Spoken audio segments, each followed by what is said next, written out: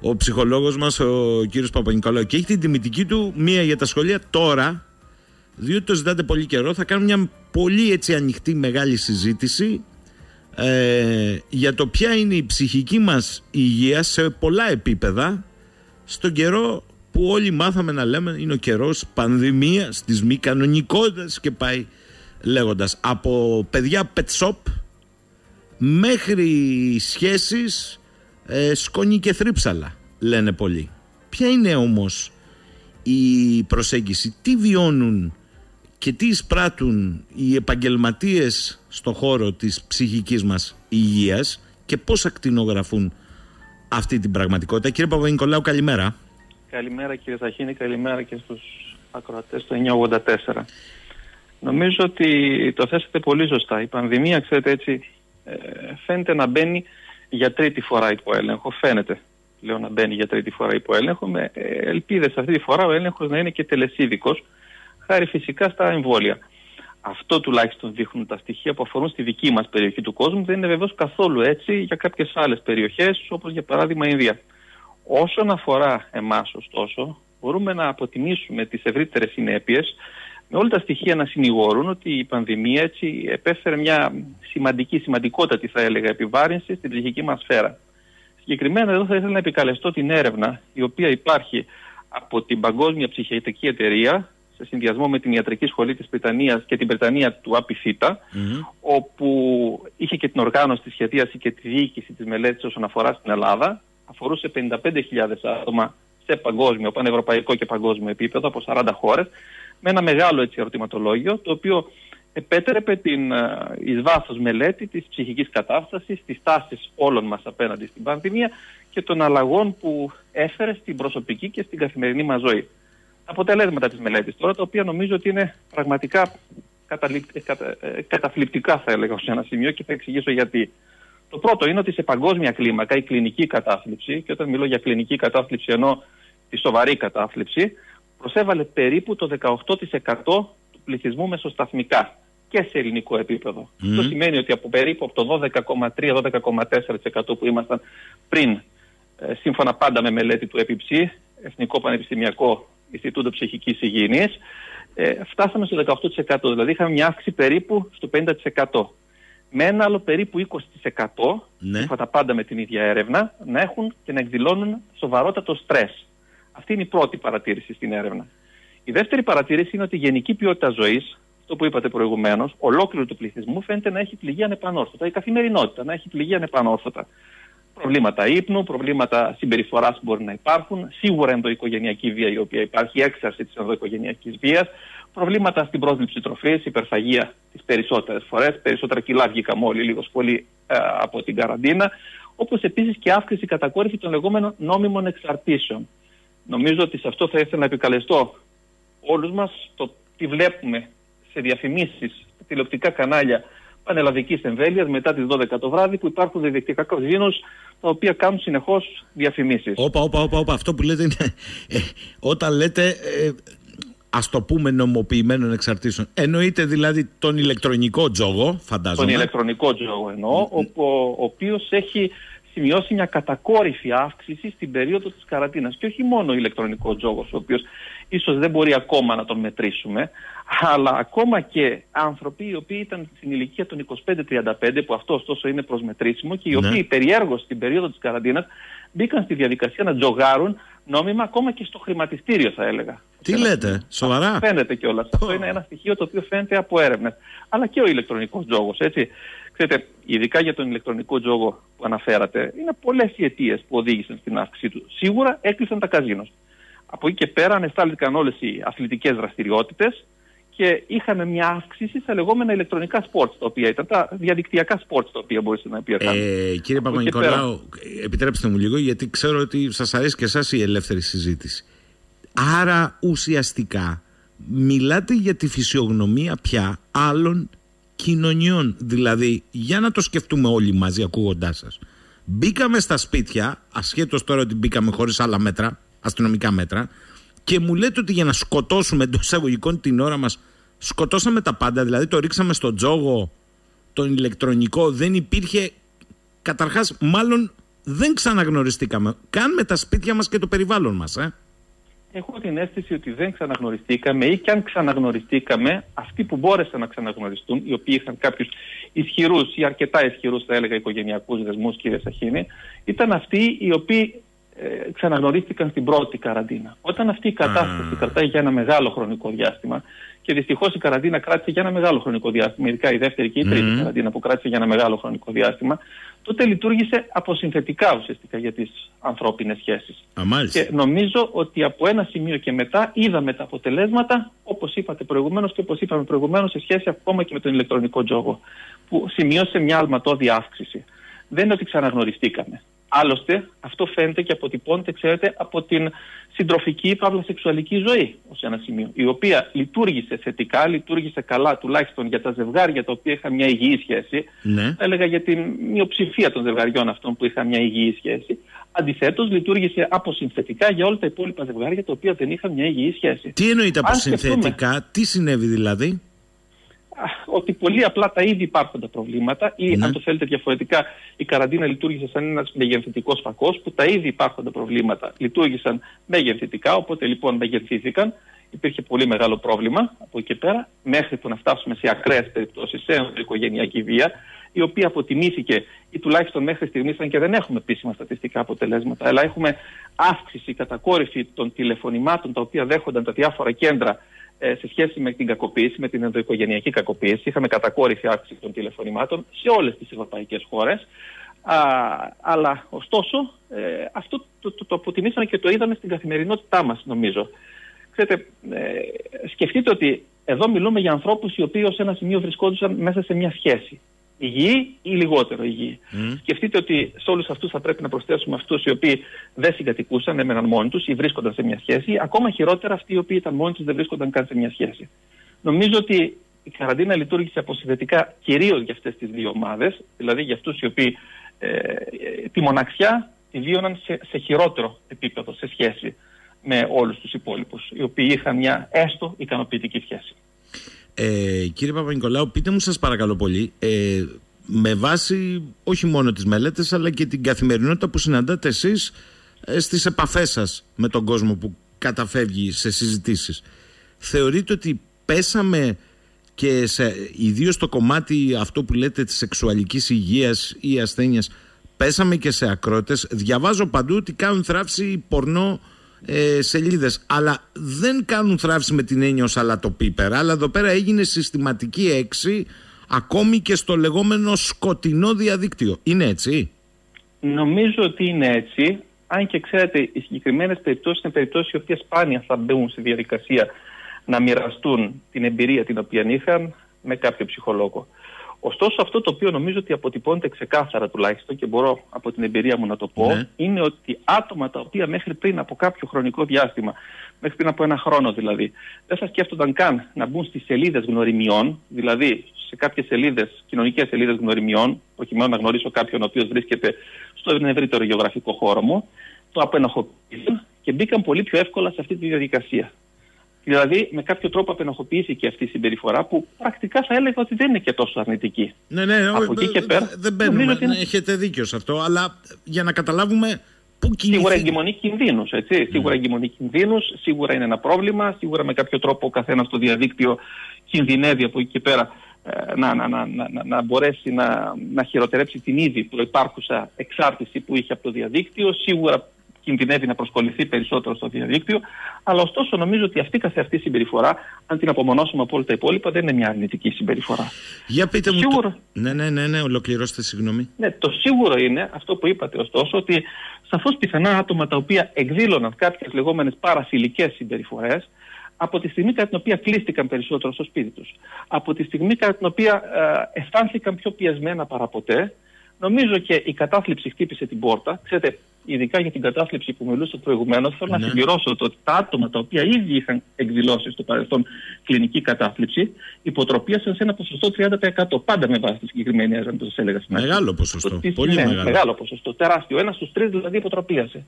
Άρα λοιπόν αυτό τι σημαίνει; Σημαίνει ότι άτομα τα οποία ήδη φλέρταραν με την κατάθλιψη, ήδη προσπαθούσαν να σβήσουν την κατάθλιψή τους, αν θέλετε, μέσα από περιήγηση στο διαδίκτυο, μέσα από πορνοσελίδες ή ακόμα και στο α, σκοτεινό διαδίκτυο, χειροτερεύει η κατάθλιψη και άρα λοιπόν βουλιάζω ακόμη περισσότερο σε ένα φαυλοκύκλο ο οποίος δυστυχώς δεν έχει έξοδο.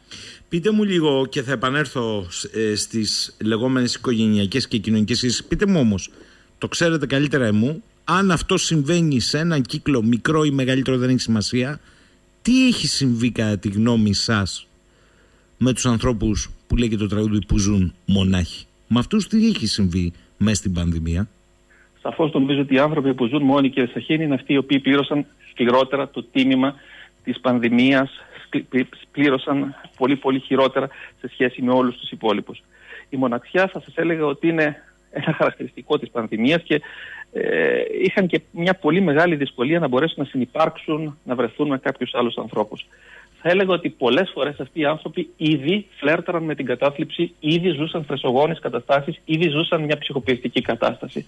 Αυτοί οι άνθρωποι δυστυχώς χειροτέρεψαν, δυστυχώς έφτασαν σε μια κατάσταση που ήταν χειρότερη σε σχέση με το παρελθόν. Νομίζω ότι η μοναξιά ωστόσο και η έλλειψη επαφής, ξέρετε, ε, η μοναξιά και η έλλειψη επαφής σκεφτείτε ότι με βάση πάντα έρευνα που είχε γίνει στα τέλη ε, του προηγούμενου καλοκαιριού, τον προηγούμενο μήνα είχαν δηλώσει ότι είχαν χειραψία με κάποιον άλλον και ας σκεφτούμε τι σημαίνει χειραψία. Σημαίνει ότι πλησιάζω τον άλλον, τον αγγίζω τον άλλον. Το άγγιγμα έχει, ξέρετε, μια μαγική διάσταση στην ψυχική μας υγεία. Είναι κάτι πάρα πολύ σημαντικό στην ψυχική μας υγεία. Σκεφτείτε λοιπόν ότι αυτά τα άτομα ε, είχαν ένα ποσοστό περίπου σε 92-93% δεν είχαν καν χειραψία.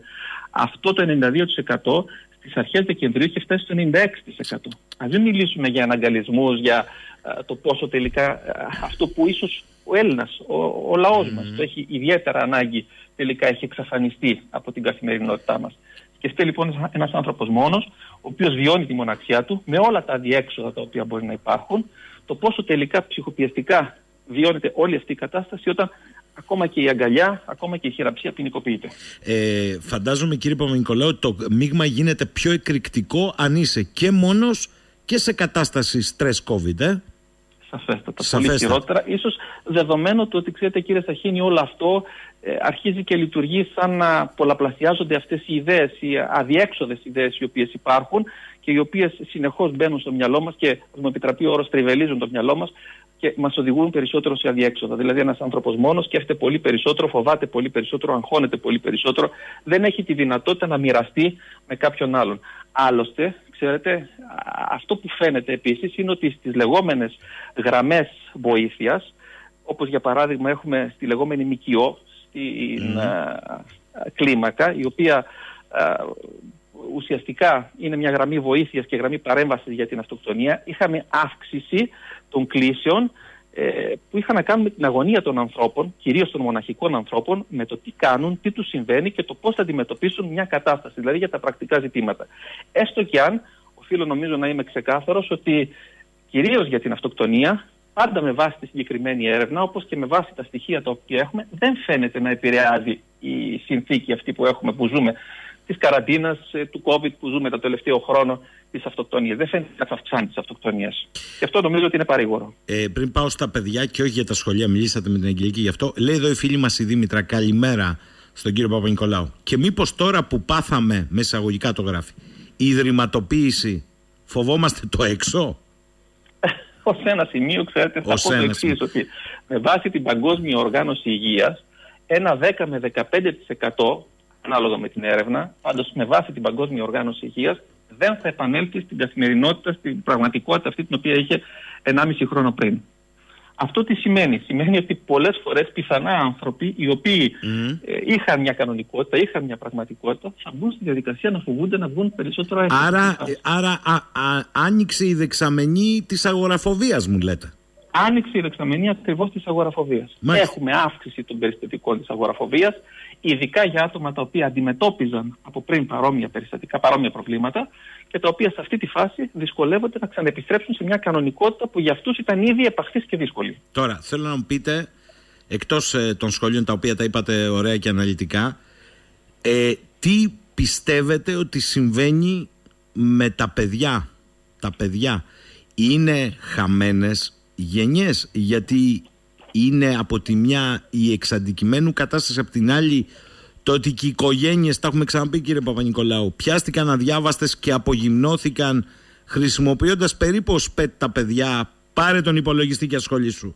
ε, κάτσε στο κινητό σου, μη με ενοχλείς, διότι βεβαίως η συμβίωση του να ξαναγνωριστούμε είχε άλλα crash test για τις οικογένειες, καλά το είπατε εσείς. Αλλά εδώ όμως υπάρχει ένα παραγόμενο αποτέλεσμα. Να σας πω ας πούμε τι μου λένε οι οφθαλμίατροι. Έχουν αυξηθεί οι παθήσεις των οφθαλμών στις μικρές ηλικίες, συνεπία της επικέντρωσης διαρκώς όλους αυτούς τους μήνες σε μία οθόνη. Και το ξέρετε καλύτερα από μένα, καλύτερο από την ψυχική υγεία το έξω και το παιχνίδι για τα παιδιά δεν υπάρχει. Εννοείται κύριε Σαχίνη, καλύτερο από την Αλάνα δεν υπάρχει. Αυτό είναι δεδομένο και σας μιλάει ένας άνθρωπος ο οποίος μεγάλωσε στην Αλάνα, τουλάχιστον στην εποχή μου ακόμα υπήρχε. Αυτό ξέρετε που θεωρούσαμε κατάχρηση μέχρι πρώτη έγινε αναγκαίος σε αυτή τη φάση. Αυτό είναι σίγουρα ένα πρόβλημα. Αυτό που φοβόμαστε μέχρι πρώτη το λουζόμαστε κατά το κοινός λεγόμενο. Αυτό που επευχόμαστε ή που προσπαθούσαμε να μην συμβεί, τώρα το προκαλούμε. Α σκεφτούμε χαρακτηριστικά το πώς θα αντιδρούσε ένας γονέας αν έπεφτε το ίντερνετ και το παιδί του θα ξεκολούσε από το διαδίκτυο, το κολλημένο παιδί του θα ξεκολούσε από το διαδίκτυο δύο χρόνια πριν και τώρα. Όπου θα χάσει το μαθημά του, θα έχανε μάλλον το μαθημά του στην περίοδο της καραντίνας, όπου δεν θα βρισκόταν μέσα στο μάθημα, όπου θα έπαιρνε απουσία. Νομίζω ότι είναι γεγονός ότι το διαδίκτυο, το ξέρουμε όλοι, αποτελεί έτσι ένα παράθυρο στον κόσμο σε συνθήκες περιορισμού όπως αυτές που ζούμε. Και ήταν ένα παράθυρο στον κόσμο και λειτουργήσε έτσι θετικά σαν ένα παράθυρο στον κόσμο. Αλλά νομίζω ότι από εκεί και πέρα, όπως είπατε, ήδη άτομα τα οποία φλέρταραν με την εξάρτηση από το διαδίκτυο, σε αυτή τη φάση χειροτέρευσαν πολύ, υποτροπίασαν πολύ περισσότερο και πολλές φορές ξέρετε η εξάρτηση από το διαδίκτυο υπάρχει στην εξάρτηση από το διαδίκτυο, υπάρχει συνοσυρότητα με την κατάθλιψη. Όταν τα ποσοστά κατάθλιψης σε επίπεδο παγκόσμιο, αλλά θα έλεγα και σε πανε, ε, πανελλήνιο επίπεδο, αυξήθηκαν περίπου κατά 50% σε αυτή την περίοδο. Σκεφτείτε κάποια άτομα τα οποία έβρισκαν μια αδιέξοδη εντός αγωγικών διέξοδο βεβαίως προς το διαδίκτυο και όχι μόνο τα παιδιά, ενώ παιδιά έφηβοι και προέφηβοι, πόσο τελικά σε αυτή τη φάση υποτροπίασαν, δυσκολεύτηκαν και χειροτέρεψαν σε αυτή τη φάση που βρίσκονται. Είναι αυτό που είπαμε προηγουμένως, το ότι οι νόμιμες εξαρτήσεις, για παράδειγμα αλκοόλ, το οποίο επίσης είχαμε mm. μια χειροτέρευση του αλκοόλ, όπως στο ηλεκτρονικός τζόγος και διαδίκτυο, νομίζω ότι χειροτέρεψε πολύ. Δεν μου λέτε όμως τι γενιές ε, φτιάχνονται και πόσο εύκολο είναι επιστρέφοντας σε έναν άλλο τρόπο, δεν θα πω εγώ κανονικότητας, να επανέλθουν και μιλάω για τις νέες γενιές ή πλέον αυτές οι γενιές, θα το πω έτσι όπως το λένε είναι καμένες, προχωράνε με αυτό που εισέπραξαν σε κρίσιμη περίοδο για αυτές. Μην ξεχνάτε, θα το δω διαφορετικά, ότι τα πρωτάκια σε δημοτικό, σε γυμνάσιο, σε ηλίκιο δεν κατάλαβαν πρώτη, πρώτη δημοτικού γυμνασίου ηλικίου με ό,τι μπορεί να σημαίνει αυτό. Δεν συζητάω καν για τα νηπιαγωγιά. Ρωτώ λοιπόν, κατάλαβαν όμως την οθόνη. Μήπως εδώ είναι εξαιρετικά δύσκολο και τι πρέπει να κάνουν. Ρωτούν πάρα πολύ. υπάρχει ένας πολύ απλός οδηγός. Ξέρετε, απλός οδηγός σίγουρα δεν είναι. Νομίζω ότι τα πάντα ξεκινούν από την καλή επαφή με την πραγματικότητα και βασικά με τους γονείς που μπορεί να έχει το παιδί. Μια καλή επικοινωνία, μια καλή αμφίδρομη επικοινωνία που μπορεί να έχει το παιδί με τους γονείς. Κύριε Παπα-Νικολάου, για να μην σας κουράζω, μην το, μην το Α το πω απλά. Κλείνουν τα σχολεία που άνοιξαν για να κλείσουν τώρα. Ωραία. Ναι, Έρχεται ναι. το καλοκαιράκι. Θα συνιστούσατε στους γονείς να περιορίσουν το κινητό, όχι να το εξαφανίσουν. Η απαγόρευση δημιουργεί άλλα αλλά να το περιορίσουν στα απολύτως αναγκαία και να σμπρώξουν εντός εισαγωγικών τα παιδιά τους να χαρούν τις ομορφιές της καθημερινότητας του καλοκαιριού. Εννοείται και θα έλεγα ακόμα και να το εξαφανίσουν σε κάποιες ηλικίες κύριε Κωστίνη, ειδικά στις ηλικίες κάτω των 12 ετών. Δηλαδή κάτω, ξέρετε, αυτό βεβαίως ακουστεί έτσι ουτοπικό που λέω, δεδομένου ότι η συντριπτική πλειοψηφία από τα εκτάκια τα παιδιά της έκτη δημοτικού, διαθέτει κινητό, διαθέτει προσωπικό λογαριασμό στο Viber, διαθέτει προσωπικό λογαριασμό στο Instagram, πιθανά και στο Facebook από εκεί πέρα. Καταλαβαίνετε λοιπόν ότι αυτό που λέω ακούγεται ουτοπικό, αλλά ωστόσο νομίζω ότι είναι το ευκταίο, είναι το καλύτερο. Όχι απλώς προτρέπω, είναι το βασικό, είναι η πεμπτουσία, αν το θέλετε, για την ψυχική υγεία. Η διαπροσωπική επαφή, αυτή που χάθηκε τώρα, αυτή που δαιμονοποιήθηκε σε αυτή τη φάση, είναι η πεμπτουσία. Ειδικά για μια γενιά που, όπως είπατε πολύ σωστά, δυσκολεύτηκε πάρα, πάρα πολύ και πέρασε πολύ δύσκολα μέσα από ε, έτσι μια, μια, μια, μια, δύσκολη, μια, μια δύσκολη, μια πιεστική περίοδο της, όπως αυτή της καραντίνας που περάσαμε. Μάλιστα. Τώρα πάω σε κάτι άλλο κύριε Παπα-Νικολάου. Έχω πρέπει να σας πω βροχή ερωτημάτων. Με ρωτούν πάρα πολύ. Θεωρείτε ότι ένα συντριπτικό κομμάτι της κοινωνίας πια έχει μπει, σας το διαβάζω πώς μου το γράφουν, ε, στη, στο λούκι των κρίσεων πανικού ή οι κρίσεις πανικού έχουν γίνει μεταδοτική ασθένεια αφού την έχει ο δίπλα την έχω κι εγώ. Κοιτάξτε, μεταδοτική ασθένεια δεν μπορεί να είναι η κρίση πανικού. Η κρίση πανικού είναι μια ε, πιεστική κατάσταση η οποία στη συντριπτική πλειοψηφία των περιπτώσεων κρύβει από πίσω κατάθλιψη και όταν έχουμε αύξηση της κατάθλιψης ή κατακόρυφη αύξηση της κατάθλιψης λογικό είναι να έχουμε και κατακόρυφη αύξηση των κρίσεων πανικού ειδικά σε ανθρώπους οι οποίοι προσπαθούν να συνεχίσουν μια καθημερινότητα, μη ακούγοντας, μη ερχόμενοι σε επαφή με τα συναισθήματα που έχουν. Σίγουρα δεν είναι μια μεταδοτική κατάσταση. Δεν σημαίνει δηλαδή ότι από τη στιγμή που ο γειτονάς μου, ο άνθρωπος ο οποίος βρίσκεται δίπλα μου, ο σύντροφός μου ή η σύντροφός μου ε, έχει κρίση πανικού, θα πάθω και εγώ κρίση πανικού. Σίγουρα όμως είναι μια κατάσταση που κάτι λέει, σίγουρα είναι μια κατάσταση πιεστική και σίγουρα είναι μια κατάσταση που αξίζει κάποιος να την αντιμετωπίσει όσο το δυνατόν πιο σύντομα για να μην περιοριστεί και πέσει στο λούκι της αγοραφοβίας που όπως είπατε προηγουμένως είναι μια δυστυχώς καθημερινότητα για αρκετούς ανθρώπους δυστυχώς σε αυτή τη φάση. Σε, ε, σε περισσότερους ανθρώπους σε αυτή τη φάση. Λέει ο φίλος ο Αντώνης, ρωτήσει τον κύριο Παπα-Νικολάου, βλέπει μετά την καραντίνα αλλαγή στη σεξουαλική συμπεριφορά; Υπάρχει περίπτωση η καραντίνα να επιτάχυνε τέτοιες εξελίξεις; Κοιτάξτε, ε, φαίνεται, φαίνεται ότι με βάση μάλιστα μια έρευνα η οποία υπήρχε από τον καθηγητή, τον κύριο Παυλάκη, θα έχουμε μια ε, γενικότερο πέρασμα σε μια αχαλήνωτη σεξουαλική. Τον κύριο Χριστάκη, να διορθώσω τον καθηγητή. Ναι, ναι, τον κύριο Χριστάκη. Ναι, ναι, ναι, ναι, ναι, σωστά. Συγγνώμη. Όχι, όχι, εντάξει. Ακριβώς, ναι. Κριτική είναι και οι δύο, μη στεναχωριέστε. Λοιπόν. Θα έχουμε ένα πέρασμα ακριβώς σε μια λεγόμενη αχαλήνωτη σεξουαλική συμπεριφορά, σε μια έτσι συμπεριφορά πολύ πιο μεγάλης ελευθεριότητας, ε, που γενικότερα θα σηματοδοτεί και μια επιστροφή σε μια κανονικότητα. Ή αν το θέλετε, η ψυχολογία μας λειτουργεί και σαν ελαττήριο κάποιες φορές. Όσο μαζεύεται, όσο περιορίζεται, με κάποιο τρόπο όταν βρούμε ελεύθερο πεδίο, ειδικά σε μια επιστροφή στην καθημερινότητα και στην κανονικότητα, αυτό θα περάσει πολύ σύντομα και πολύ γρήγορα και πολύ βία, θα έλεγα, στο αντίθετο άκρο. Αυτό βέβαια εξαρτάται, κύριε Σαχίνη, από το πόσο τελικά και το πώς θα έρθουμε σε αυτή την επαφή με την κανονικότητα. Δηλαδή, αν αυτή η επαφή με την κανονικότητα γίνει σιγά σιγά, δηλαδή ανοίξουν τα πάντα σιγά σιγά, νομίζω ότι θα προσαρμοστούμε πολύ πιο εύκολα σε σχέση με το να ανοίξουν τα πάντα από τη μια στιγμή στην άλλη, όπως ίσως θα έλεγα σε αυτή τη φάση φαίνεται να γίνεται κάτι τέτοιο. Ε, ρωτά άλλος φίλος, ε, το πολιτικοποιεί λίγο, αλλά έχει ενδιαφέρον. Ε, σε όλο αυτό το διάστημα που ο κόσμος ήταν μέσα, λαμβανόντουσαν μια σειρά από αποφάσεις. Είτε αφορούσαν τον κορονοϊό, είτε αφορούσαν την καθημερινότητά του, από πτωχευτικούς νόμους μέχρι υπερεργασίες. Αυτά δεν επηρεάζουν, λέει, την ανθρώπινη ψυχολογία; Προφανώς και επηρεάζουν την ανθρώπινη ψυχολογία. Προφανώς και η ανεργία, για παράδειγμα, επηρεάζει την ανθρώπινη ψυχολογία. Προφανώς και όλη η δυσκολία, η οικονομική κρίση, την οποία ήδη, ας μην ξεχνάμε, ότι ο λαός μας πέρασε μια δεκαετή οικονομική κρίση, η οποία έγινε αργότερα υγειονομική κρίση και κρίση της ψυχικής υγείας.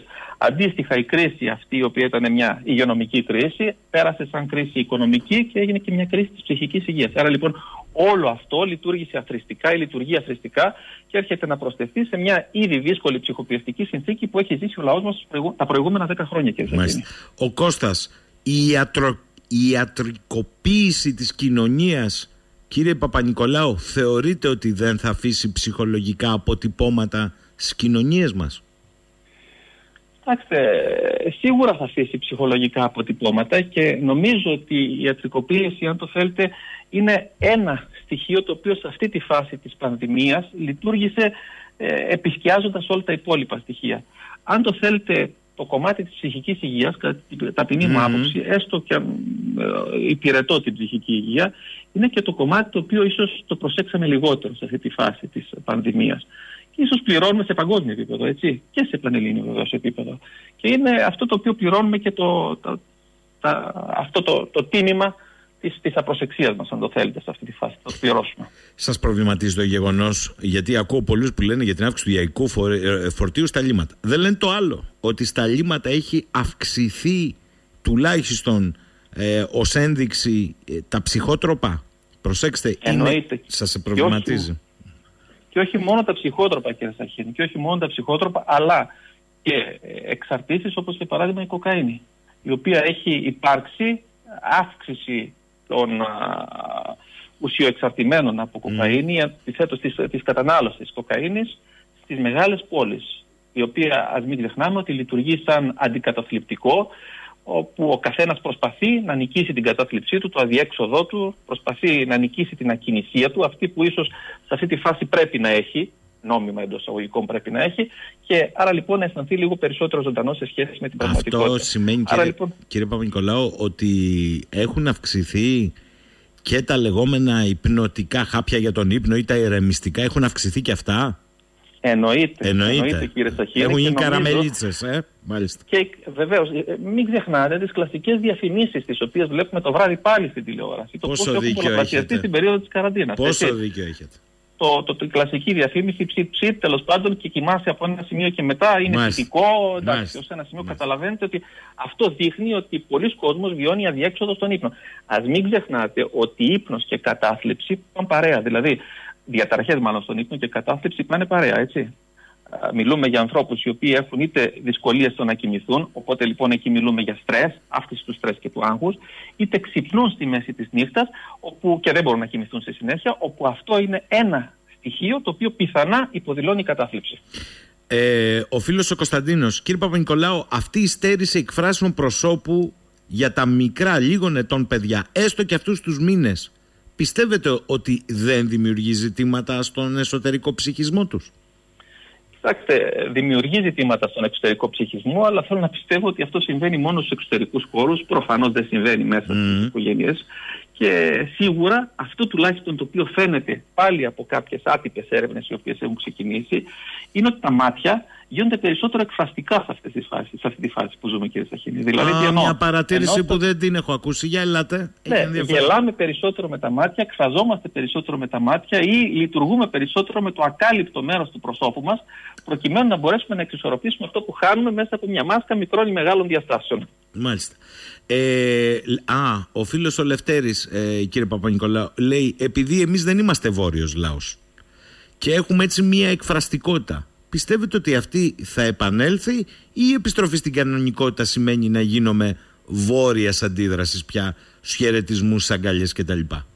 Δεν θέλω να πιστεύω ότι θα γίνουμε βόρειας αντίδρασης, κύριε Σαχή. Νομίζω ότι θα επανέλθει αυτή η κατάσταση στην κανονικότητα. Προφανώς θα περάσει κάποιο χρονικό διάστημα. Νομίζω ότι ακόμα λειτουργούμε υπό το καθεστώς του τρόμου και του φόβου. Σιγά σιγά, όσο γενικότερα η πανδημία θα δείχνει, δεν θα δείχνει τόσο πολύ τα δόντια της, νομίζω ότι θα λειτουργήσουμε καλύτερα θα επανέλθουμε σε μια κανονικότητα και ως προς την σωματική επαφή που όπως είπα και προηγουμένως αποτελεί και πεμπτουσία της ψυχικής υγείας. Έτσι.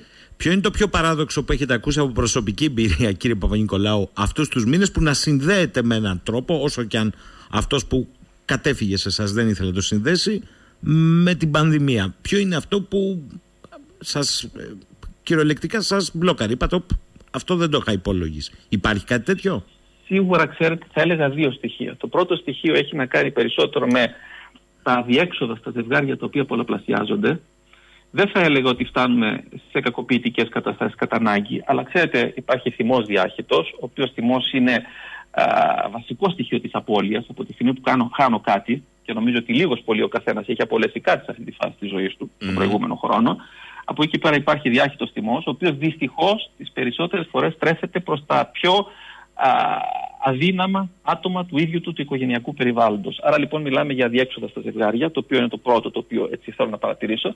Και το δεύτερο είναι αυτό που έλεγα προηγουμένως, το πόσο τελικά κάποια άτομα εντός αγωγικών υπεράνω υποψίας, ας μου επιτραπεί αυτός ο όρος, έχουν απενοχοποιήσει τη συμπεριφορά του να μπορούν να, να αλλιεύουν συντρόφους μέσα από κάποιες ε, πλατφόρμες κοινωνικής συνέβρεσης Πράγμα το οποίο πιθανά πριν από δύο χρόνια τα συγκεκριμένα άτομα ούτε καν θα το είχαν σκεφτεί. Και νομίζω ότι αυτό αποτελεί ε, έτσι προσαρμογή σε μια πραγματικότητα δύσκολη και ένα στοιχείο ψυχικής υγείας. Και νομίζω ότι είναι θετικό. Αρκεί βεβαίως να μπει στα κλασικά, τα καλά μονοπάτια που πρέπει να οδεύσει από εκεί και πέρα.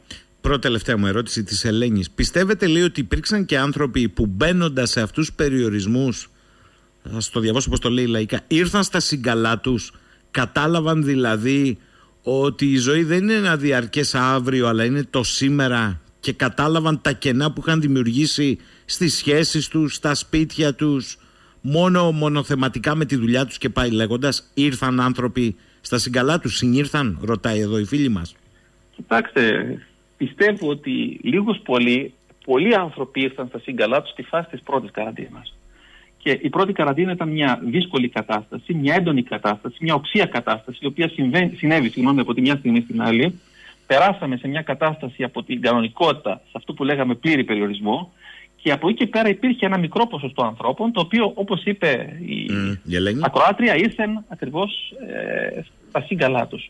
Από εκεί και πέρα όμως, όσο αυτή η κατάσταση κράτησε για ένα μεγάλο χρονικό διάστημα, και νομίζω ότι κράτησε για κάποιους μήνες, τότε όλο αυτό λειτουργήσε αποσυνθετικά για την ψυχολογία μας, για την ψυχική υγεία και για τις ανθρώπινες σχέσεις. Και αυτό, όπως είπα, αποτυπώθηκε και από την έρευνα, την παγκόσμια έρευνα, σε παγκόσμιο επίπεδο που ανέφερα στην αρχή της ε, συνομιλίας μας, κύριε Σαχίνη. Άρα, κύριε Παπα-Νικολάου, μου λέτε ότι αυτό το πρώτο διάστημα, αν υποθέσουμε ότι φεύγουμε από το περίκλειστο κέλυφος, ε, καλό είναι να έχουμε υπόψη μας ότι θα συναντάμε στις πρώτες στιγμές των συναστροφών με πολλά εισαγωγικά αυτό που θα πω, πιο εκρηκτικές συμπεριφορές ακόμη και από ανθρώπους που παλιώς τους ξέραμε πριν. Σωστά; Ακριβώς, ναι. ακριβώς, σωστά, πολύ σωστά. Πολύ σωστά το θέσετε. Λοιπόν, για να ρωτήσω και κάτι εγώ τώρα, α, αφήσω τους ακροατές. Άρα φέτος που δεν είναι λιγμένο, α, λέει εδώ στο Δημοτικό πρώτη τάξη δασκάλα, Κοιτά το στόμα του παιδιού αν προφέρει το μου ή το νου όταν μαθαίνει την ΑΒ. Επίσης από μακριά δεν υφίσταται η εκφραστικότητα των ματιών.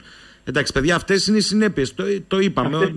δεν είπε ο κύριος Παπα-Νικολάου ότι όλα ήταν ρόδινα. Προσπάθησε μέσα στο, στο κακό κλίμα να βρει και μερικά αισιόδοξο άνθρωπο. Μην, μην πιάνεστε τώρα από εκεί. Ε, α, ο Σπύρος, και μετά θα σας πω πώς θέλω να κλείσουμε, θεωρεί ο κύριος Παπα-Νικολάου πως ο φόβος χρησιμοποιήθηκε ως επικοινωνιακό όπλο από τη μεριά των συστημάτων, όχι μόνο στη χώρα μας, παντού κατά την πανδημία, ώστε να εφαρμοστούν τα μέτρα; Ναι, ε, ίσως στην πρώτη φάση χρησιμοποιήθηκε. Ίσως στην πρώτη φάση χρησιμοποιήθηκε και ξέρετε, στην πρώτη φάση χρησιμοποιήθηκε δεδομένο του ότι υπήρχε το άγνωστο. Και ξέρετε, αυτό το οποίο μας αγχώνει, και αυτό φάνηκε από τη συμπεριφορά μας, είναι ο φόβος προς το άγνωστο. Έστω και αν στην πρώτη φάση είχαμε πολύ λιγότερα κρούσματα σε σχέση με αυτά που είχαμε στη δεύτερη ή στην τρίτη φάση, κύριε Σαχίνη, ήμασταν πολύ περισσότερο φοβισμένοι και πολύ περισσότερο, υπά, περισσότερο υπάρχουν στα μέτρα σε σχέση με τη δεύτερη ή την τρίτη φάση. Αυτό γιατί, γιατί λειτουργούσε το άγνωστο. Δεν γνωρίζαμε τον εχθρό. Από τη στιγμή κατά το οποίο ο εχθρός μας πλησίασε σε πρώτη φάση στη Βόρεια, στη Θεσσαλονίκη, Βόρεια στη Θεσσαλονίκη και αργότερα στην Αθήνα και στην Κρήτη, εξαπλώθηκε παντού, τότε θα έλεγα ότι ξεφοβηθήκαμε και παρουσιάστηκαν συμπεριφορές οι οποίες ήταν περίεργες. Δηλαδή, τι εννοώ. Από εκεί που τελικά βλέπαμε τις σκηνές στην Ιταλία, τρομάζαμε και περιοριζόμασταν, τελικά τι σκηνές τις είχαμε δίπλα μας και δεν τρομάζαμε, δεν περιοριζόμασταν. Μήπως γιατί δεν είχαμε μέτρα δημόσιας υγείας, αλλά μέτρα δημόσιας τάξης. Οπότε λειτουργούσε στη δράση ή αντίδραση. Γιατί αν είχαμε πραγματικά μέτρα δημόσιας υγείας, λέω εγώ τώρα, όπως για παράδειγμα στην ψυχική υγεία, αλλιώς θα ήταν οι συμπεριφορές μας. Και αυτό σίγουρα. Και, αυτό. σίγουρα. Απλά σας λέω ως προς την ψυχική μας σφαίρα το πώς λειτουργήσαμε. Mm, σίγουρα αυτό είναι ένα άλλο κομμάτι το οποίο πολύ σωστά το θέτε. Εννοείται. Απλά ως προς την ψυχική σφαίρα το άγνωστο είναι αυτό το οποίο μας τρομάζει περισσότερο. Λοιπόν, κύριε Παπα-Νικολάου. Το Μάρτιο του 20 ήταν ο άγνωστος. Ναι. Σαφές. Θα κλείσω με κάτι χρηστικό. Μπορεί να σας φανεί πολύ ακραίο, αλλά μήπως λοιπόν αυτό το καλοκαίρι είναι η ευκαιρία, μιας και δεν έχουμε απαντήσεις στον ιό, μην τρελαθούμε τώρα ε, εμφανίζονται μεταλλάξεις απρόοπτα, κάπου θα έχουμε υπερμεταδόσεις στοχευμένα. Λέω, μήπως είναι η χρυσή ευκαιρία να ξανανακαλύψουμε όλοι κάτι. Καλά, δεν μπορούν να το κάνουν οι άνθρωποι οι μονάχοι βεβαίως. Κάτι που το έχουμε χάσει στο πέρασμα των χρόνων. Πιο οικογενειακές διακοπές, φέτος ειδικά. Λέω εγώ, μια ιδέα. Ναι, όπως ίσως και πέρσι αυτό θα ήταν και θα έπρεπε να γίνει. Ε, και φέτος νομίζω ότι πρέπει να το ανακαλύψουμε, έστω και αν όπως είπατε πολύ σωστά, αυτό είναι κάτι πάρα πολύ δύσκολο για κάποιους ανθρώπους οι οποίοι βιώνουν τη δική τους μοναξιά και θα έλεγα ότι βιώνουν το δικό τους Γολγοθά. Ξέρετε, δυστυχώς αυτό είναι ουτοπικό για ανθρώπους οι οποίοι έχουν αδιέξοδες οικογενειακές σχέσεις. Και τις περισσότερες φορές, όπως έλεγα προηγουμένως, η καραντίνα λειτουργήσε σαν ένας μεγενθητικός φαγό. Η κρίση λειτουργήσε σαν μεγενθητικός φαγό που πολλαπλασίασε τα ήδη προπάρχοντα διέξοδα. Ωστόσο, νομίζω ότι είναι μια καλή ευκαιρία να μπορέσουμε να συνεπάρξουμε, να βρεθούμε και να δυναμώσουμε ή να βασιστούμε στα καλά στοιχεία των σχέσεων, των, των, των σχέσεων που μπορεί να είχαμε μέχρι τώρα και να τα πολλαπλασιάσουμε το δυνατόν. Για να ζήσουμε και εμείς καλύτερα και νομίζω ε, να έχουμε καλύτερες και ε, πιο αληθινές σχέσεις μέσα στην οικογένεια. Θέλω να ευχαριστήσω τον εξαιρετικό για μια φορά ακόμη κύριο Παπα-Νικολάου, όχι μόνο γιατί ως ψυχολόγος ε, τα προσεγγίζει με άλλο ύφος. Θέλω να το τονίσω αυτό. Δεν είναι από έδραση, είναι στην καθημερινότητα. Αλλά κυρίως γιατί ανοίξαμε όσο μπορούσαμε τη βεντάλια με τη βοήθεια των ακροατών. Καλή σας ημέρα, κύριε Παπα-Νικολάου. Καλή σας ημέρα, κύριε Σαχίνη. Ευχαριστώ πολύ για την πρόσκληση.